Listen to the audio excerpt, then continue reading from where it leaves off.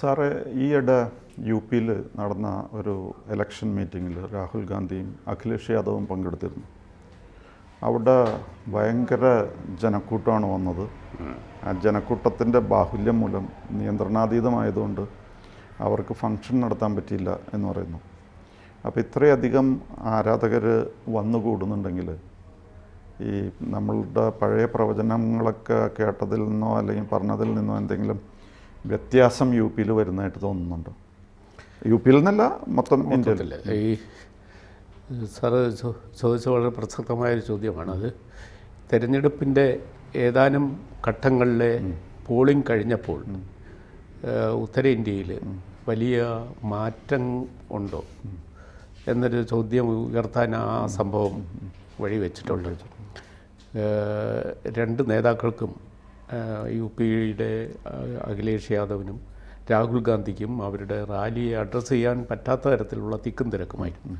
അത്ര വലിയൊരു ഒരു ജനസാന്നിധ്യം പാർട്ടി പ്രവർത്തകരുടെ ഒരു തള്ളിക്കയറ്റം അതിലുണ്ടായിരുന്നു. അവർ പ്രസംഗം പോലും നടത്താൻ പറ്റാത്ത തരത്തിൽ തിരിച്ചു വരുന്നു ഇത് പിന്നെ രാഷ്ട്രീയ കാറ്റ് മാറുന്നതിന്റെ ഒരു സൂചനയാണോ? എന്ന് അങ്ങനെയാണ് എന്നുള്ള അർത്ഥത്തിൽ കേരളത്തിലെ മാധ്യമങ്ങളത് പ്രൊജക്റ്റ് ചെയ്യുകയും ചെയ്തു. ഇപ്പോൾ യു പിയിലെ സ്ഥിതിഗതികളൊക്കെ മാറുകയാണ്. യു പി എന്ന് മാത്രമല്ല ഉത്തരേന്ത്യയിലെ ഹിന്ദി ബെൽറ്റിലെ രാഷ്ട്രീയ അന്തരീക്ഷം തകിടം മറിഞ്ഞിരിക്കുന്നു. ബി ജെ പിക്ക് അനുകൂലമായി തുടക്കത്തിൽ കണ്ടിരുന്ന ഒരു മുന്നേറ്റം ഇപ്പോൾ അവർക്കെതിരായിട്ടാണ് ഭവിക്കുന്നത് എന്ന് വ്യാഖ്യാനിക്കാവുന്ന തരത്തിലെ ഒരു സംഭവമായി ഇതിനെ എടുത്തുയർത്തുന്നുണ്ട്.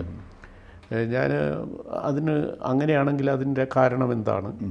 ഈ പ്രചരണം ഏ, ശക്തിപ്പെട്ടത് കൊണ്ടാണോ അതോ അരവിന്ദ് കെജ്രിവാൾ ജയിൽ മോചിതനായതുകൊണ്ടാണോ? എന്നൊക്കെ ഇതിനെപ്പറ്റി നമ്മൾ ആലോചിക്കുക അതിരുന്നിട്ടില്ല. അപ്പോൾ അങ്ങനെയാണ് ഈ മോഡി ഗവൺമെന്റിന്റെ പത്ത് വർഷത്തെ പെർഫോമൻസിനെ ജനങ്ങൾ എങ്ങനെയാണ് വിലയിരുത്തുന്നത്? ഇപ്പോൾ ഇന്ത്യ ബ്ലോക്കിലുള്ള നേതാക്കൾ പറയുന്നത് ഇത് ഇന്ത്യയിലെ അവസാനത്തെ തിരഞ്ഞെടുപ്പായിരിക്കും. ഇനി ഒരിക്കൽ കൂടി ബി ജെ പി വന്നാൽ ഇന്ത്യയിൽ ഡെമോക്രസി ജയിലിലാകും. ഇപ്പോൾ തന്നെ ഡെമോക്രസി പ്രാക്ടീസ് ചെയ്യുന്ന ചില നേതാക്കളെങ്കിലും ജയിലിൽ കിടക്കുകയാണ്. അപ്പം ഇനി വന്നാൽ ഇന്ത്യയിൽ വേറൊരു തിരഞ്ഞെടുപ്പ് ഉണ്ടാകില്ല ആ അർത്ഥത്തിൽ നമ്മുടെ ജനാധിപത്യ വ്യവസ്ഥ തന്നെ തടവിലാക്കപ്പെടുന്ന ഒരു സ്ഥിതി ഉണ്ടാകും എന്ന് പറയുന്ന ഒരു അവസ്ഥ. അപ്പോൾ ഞാനൊന്ന് ചോദിച്ചോട്ടെ?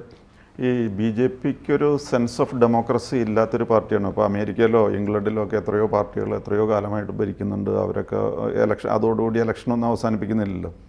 ഇന്ത്യയിൽ ബി ജെ പി ഇപ്പോൾ മോഡി തന്നെ മൂന്നാമത്തെ ടൈമിലേക്ക് പോകുന്നു എന്നാണ് പറയുന്നത്. അപ്പോൾ അങ്ങനെ അടുപ്പിച്ച് ബി ജെ പി വന്നു കഴിഞ്ഞാൽ ഇലക്ഷനെ എന്നുള്ള ആ പ്രോസസ്സിനെ തന്നെ ചവിട്ടി മെതിച്ച് ഇല്ലാതെയാക്കിയിട്ട് പോകുന്ന ഒരു പാർട്ടിയാണോ? B J P B J പിക്ക് ഒരു സെൻസ് ഓഫ് ഡെമോക്രസി ഇല്ല എന്നുള്ള കാഴ്ചപ്പാടാണ് അപ്പോൾ അവർ പറയുന്നത്?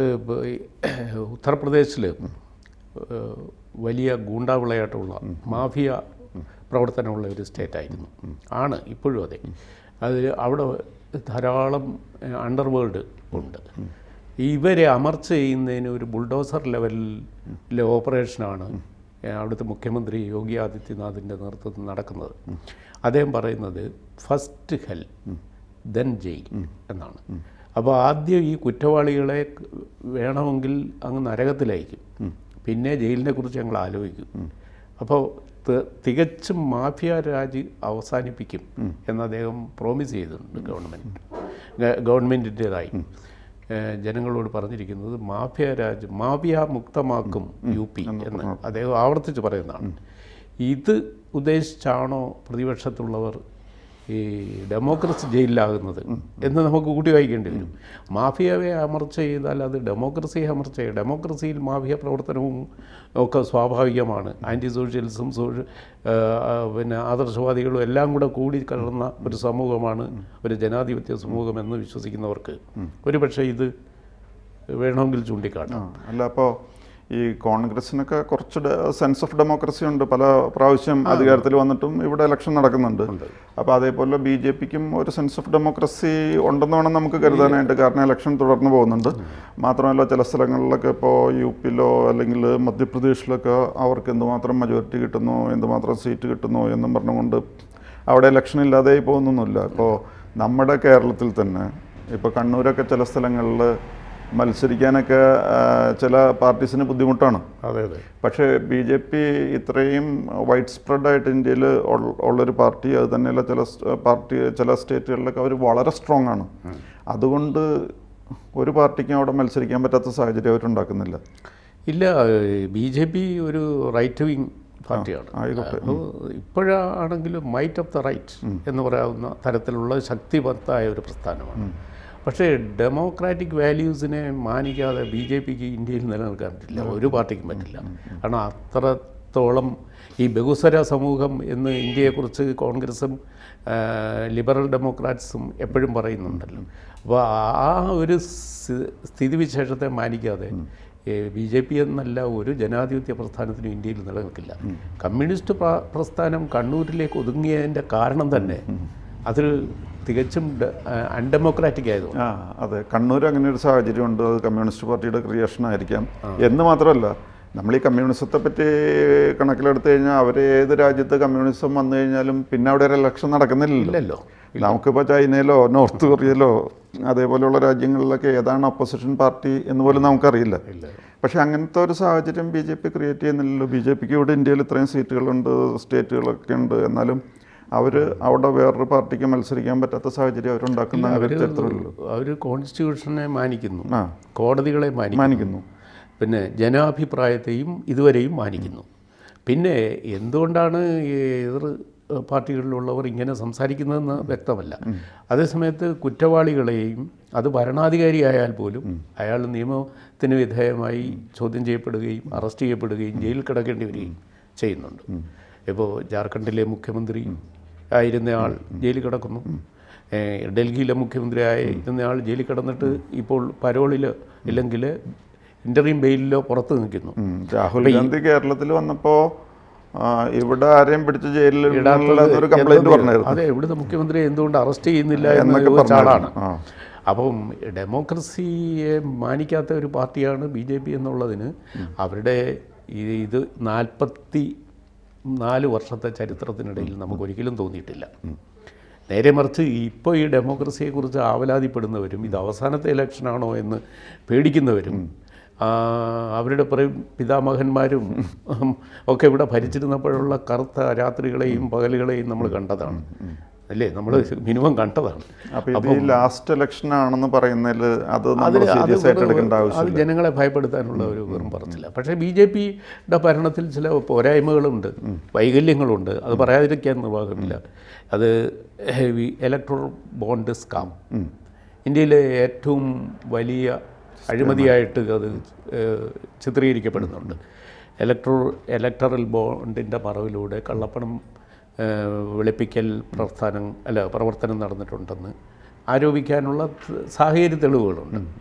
പിന്നെ രണ്ട് ഈ പോളിംഗ് പെർസെന്റേജ് ഇലക്ഷൻ കമ്മീഷൻ അത് ഇലക്ഷൻ കമ്മീഷന്റെ ഔദ്യോഗിക ജോലിയാണെങ്കിലും അത് വൈകുന്നതിനെക്കുറിച്ച് സംശയമുണ്ട്. സംശയമുണ്ട്. ജനങ്ങൾക്കിടയിൽ സംശയമുണ്ട്. പോളിംഗ് പെർസെന്റേജ് നമുക്ക് പോളിംഗ് കഴിഞ്ഞാൽ അന്നോ കിട്ടിയില്ലെങ്കിൽ പിറ്റേന്ന് അതിന്റെ last figure വരാറുള്ളതാണ്.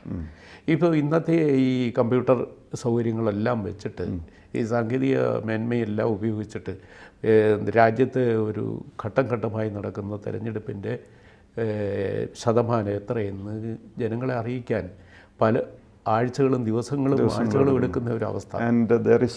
Justification for that അതെ അതെ. ഇലക്ഷൻ കമ്മീഷൻ അതിന് ന്യായീകരണമില്ല. അതിൽ അതിനെക്കുറിച്ച് പ്രതിപക്ഷ പാർട്ടികൾക്ക് വലിയ പരാതിയുണ്ട്.